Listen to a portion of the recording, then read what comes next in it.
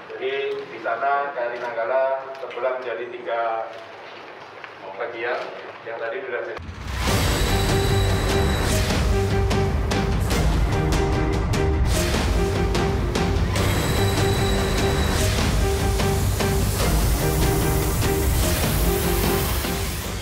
dan pada pukul 09.04 Wita, ROP Singapura mendapatkan kontak visual pada posisi 074856 07 derajat 48 menit 56 detik selatan dan 114 derajat 51 menit 20 detik timur yaitu yang tepatnya dari datum satu tadi tempat tenggelamnya dari Nanggala berjarak kurang lebih 1.500 yard di selatan pada kedalaman 838 meter.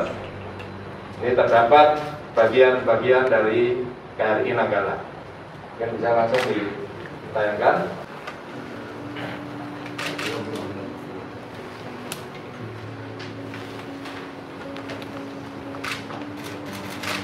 Ini adalah kalau ini adalah uh, pakaian escape suite MK11 yang tadi ini diambil oleh uh, ROV-nya RW Suite Rescue. Ini tadi dijepit, dijepit dari tempat keluar dan dijepit. Ya ini adalah ini badan badan kapal. Memang tidak terlalu terang. Nah, ini yang tadi disampaikan, ini adalah bagian belakang yang tidak berbadan tekan. Jadi ini adalah kemudi horizontal, ini kemudi vertikalnya. Nah ini ini badan kapal. Ya bagian kulitan, bagian kulitan dan kapal. Yang ini yang lepas dari badan utamanya yang berbadan tekan. Nah ini, ini terus ya ini kemudi vertikal,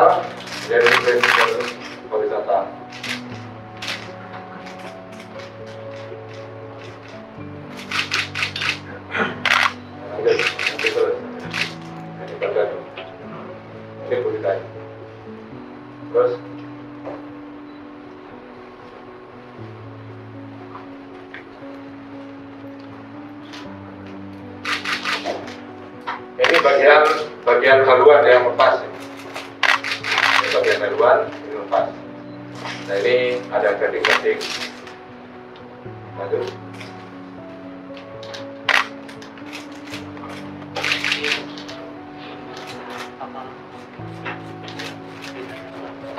ini masih yang tadi masih yang tadi. Yang mau dibereskan bagian cerita tadi. Terus terus jadi bagian-bagian yang terbuka ini uh, berserakan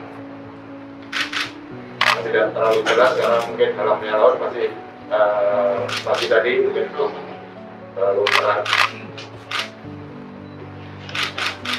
Ya ini masih bagian-bagian dari uh, kapal nah ini yang kemarin di apa ada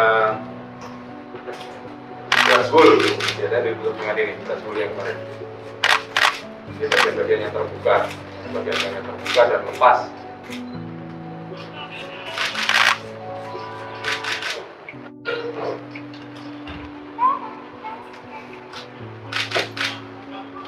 Ya ya mungkin cukup. Saya jelaskan ini aja biar bayangannya jelas.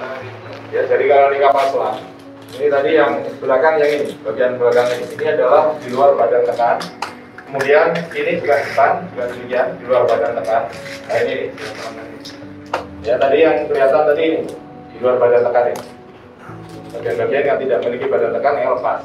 Depan ini juga demikian dari depan ini tadi lepas. Nah yang masih utuh ini. Ini masih utuh tapi terjadi uh, keretakan. Jadi karena kedalamannya yang sangat dalam sehingga uh, jadi mengecil dan uh, ada sedikit barang-barang yang lepas dari situ cakar dan sebagainya.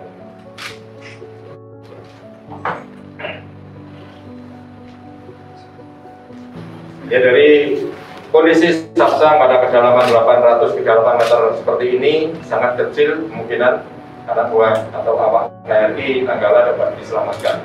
Jadi dari sampaikan bangunan TNI, rasa juga tentunya uh, mereka akan menjadi korban dalam uh, kejadian ini. Demikian, Bapak Menteri.